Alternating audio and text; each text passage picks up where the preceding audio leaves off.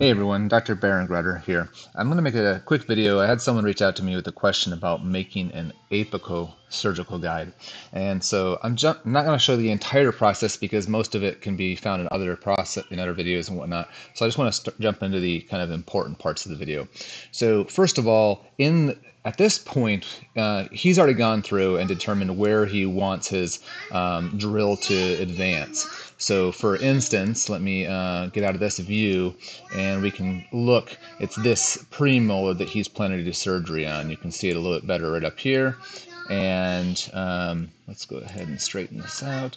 And you can see this is the area he wants to clip and do surgery on. So anyway I'm he's designed all that. He's positioned this implant. He just had an issue with how to incorporate the guide tube into his surgical guide so that it uh, extends down all the way down there and can help him and can work. So uh, basically all I'm doing is um, I did go through the process of going to the guide panel and I made sure the upper model was set. Let's go ahead and hide this CT scan because that's not really helpful for us. Let's hide this. In fact, let's even hide the implant. Well, the implant's fine because it gives us an idea of why I'm doing some of these things. Anyway, so here is the upper model. And sorry, I'm at home right now. I've got kids in the background. I'm sorry if you can hear them.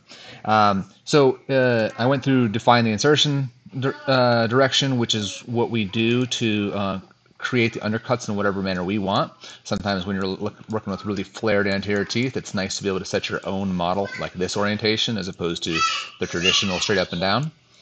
So, but anyway, in this case, it was pretty simple. I just made the, the insertion axis just like this, and it generated this model, okay?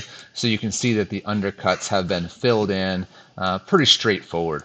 But it is important for what I'm about to show you next. So I'm going to go ahead and hide the original model. Well, let's go ahead and leave that on there um, so you can kind of see the difference. Hopefully it's not too confusing. And so here's where his implant is. Now I've gone ahead and I already drew where I wanted my curve to be. Uh, let's go ahead and click on it. I like to round the curve a little bit just so that I get a little bit of a buccal lingual more stability. If it's just the posterior, I fear that it's going to rock a little bit. So, I mean, I honestly might even go all the way to the canine or lateral just to have that extra stability, be able to put my finger on the other side of the mouth, hold it in there. But to each their own. Um, so, the here's where I drew my line. Pretty simple. I don't. I try not to spend a lot of time on this. Dad, your eye on you. Sorry. Um, Christmas break. Uh, I'm sure you heard my son talking right there. Anyway, um, so the uh, the guide is all marked, and so when I just hit create surgical guide, it's going to give you an issue because it's like, hey, the you know the guide tube is not in you know inside the guide and whatever. Who cares? Just yes, that's fine. So this is the generated guide. Let me change the color here so we get a little better contrast, a little bit of a difference. Um, hopefully you can see that well. Uh, my laptop is running on battery power at the moment, so my screen's pretty dark. There, I brightened it up. Hopefully that's, yeah, I think you should be see that. So here's the guide. And now that, that obviously isn't going to work because the there, there's no guide tube extent, you know, included. So what I'm going to do here is pretty simple. But first thing is I know that this guide tube could actually extend all the way to the tissue or to the undercut. So in that place, in that case, you know, you might want to uh, mess with your guide tube dimensions a little bit. You might want to say, oh, well, this guy, you know, this height is not very long.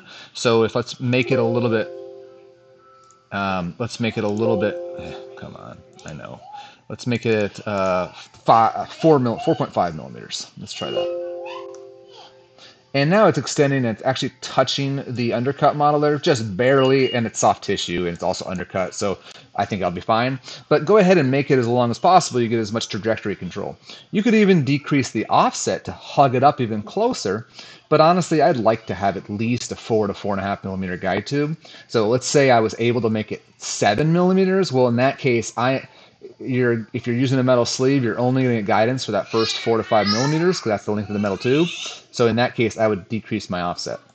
If you're using the you know uh, just the printed tube, in this case I'm assuming he is, um, then the whole length of the tube is going to be providing guidance. So the longer it is, the better it is in a sense, other than getting access with your drill. So anyway, I'm not going to play around with that anymore. Just suffice to say that if you want to um, get it get this part closer to the tissue, we're going to decrease the offset. If I want to have the tube longer, I'm going to increase the height.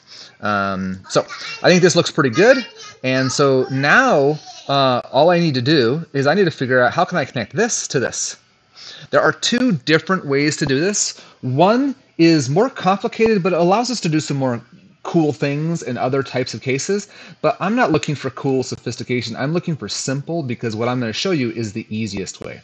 I will describe if we map a nerve, we can mark a nerve wherever we want. And I could add a, basically a rounded tube and whatever S-curve you know, directions I want to do, which is really cool if you want to make sort of like a wireframe type guide um, that are, you know, that's one of the ways we can do it is we can mark the curve, mark a, a design a nerve and have it curve and weave and wind all over the place. In this case, I don't want that. I just want some struts, one or two struts.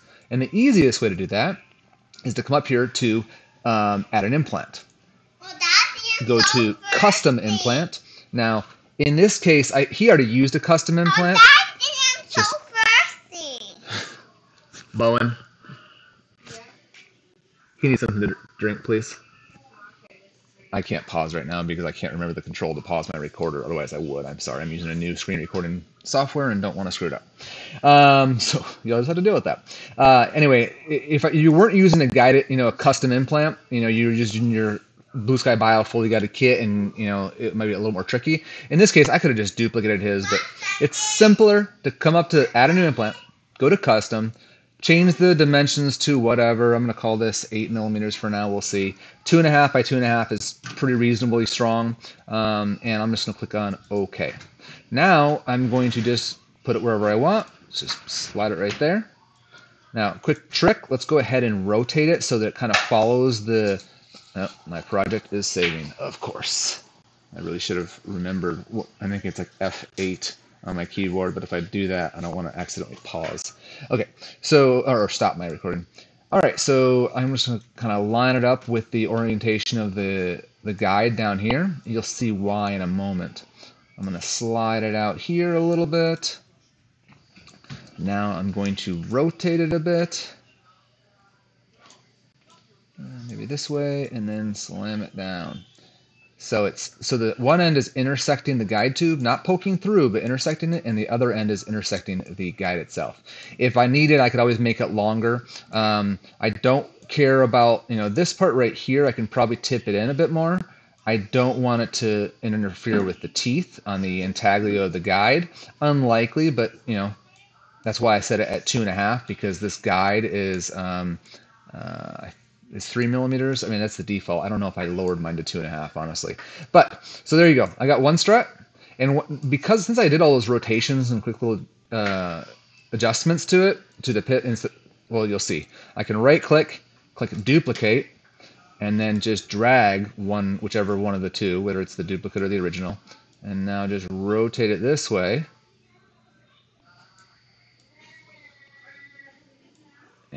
Here we go. So that make sure it's not sticking on the inside of that guide tube. Slide it in here a little bit. Yeah, I do have to tweak the angle a little bit. You know, it is it is a mouth. It's not well. No, I don't. I just slide it in a little further. Okay. Let's go ahead and lock all these so that I don't end up with those little things popping up. And you can look around. It's not on the inside of the guide or inside of the tube there. It's not in, you know impinging on my uh, blocked out model. And so there you go. Now you could add another strut in the middle if you wanted, if you really wanted this to be robust, but honestly, I think this is going to be fine. Um, so at this point, our guide, you know, we've got all the components. So I'm going to go ahead, just for the visual sake, I'm going to turn off the original model, the undercut model. I'm also going to come over to the implant list and I'm going to turn off this implant, which is the one that is just for planning sake, so you know where the drill goes. And so now everything that is visible is what I want to be as one object. I want to just print this just like this. Some people would take this, export the pieces, bring them into Meshmixer and combine them. The reality is, although that seems like a good idea, it's just not necessary. All I actually need to do is come up here to File, Export Data, and normally, let's let me get out of here for a second. Normally, if we're making a guide, all I have to do is hit create, uh, save surgical guide. It doesn't matter how many things are visible, it's only going to spit out this STL because that's the guide. This is a unique guide. There's extra components I need to attach to it. So I'm going to go back to the old school method of going File, Export Data, and I'm going to make sure that everything I want is checked. For right now, I've got the surgical guide, I've got the guide tube from that first implant, and I've got the actual implants from the other two. No guide tubes there, no abutments. The original implant is unchecked. So I've got everything I want. This little checkbox might be checked on your system. It may or may not. But it says export separate files to a folder. That would create a folder wherever I save it, and it's going to create them as um, uh, it's going to, sorry, I'm blanking for a second. It's going to make multiple files in that folder so you could print independently. It's like you got a denture, a guide, you had a bunch of other objects. I don't want to do that. Most of the time I do, but this is a case where I don't. So I'm just going to leave that unchecked and export this as one STL with all these files. So I'm going to go ahead and I'm going to see if I can pause this, see if I can find the settings menu, uh, hotkeys, pause recording F8. So I'm going to go ahead and uh, pause for a second because I don't know where this is going to save and just to save me from sharing any information. And here's my file right here. I just called it Apical Guide. So I'm going to wait for the software to open up. And then I'm going to print this entire uh, uh object as one. Now, it's technically an OBJ file, not an STL. That is uh, something I could have changed when I exported it, but I just I didn't. So um, it just I don't need to. So let's minimize this for a second. Let's grab this, drag it over top of there and drag and drop it right in the software. So there should be one solid file. And here it is. Okay. So now you can go ahead and you can um, print it however you want. You're going to want to use some, you know, some supports, of course. Uh, I usually rock it down by 45 degrees. That's just my go-to habit. Come over here, supports. Let's see what kind of supports it generates. Looks pretty good to me.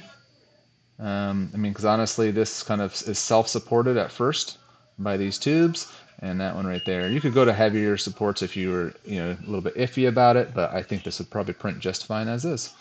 And so that's your guide. And I hope that answered anyone's questions, uh, thoughts about this process. Uh, if you like this video, if this was helpful, make sure you check out my website, barongrutterdds.com, and uh, subscribe to my YouTube channel to see new videos and techniques and whatnot. All right, thanks so much. Bye for now.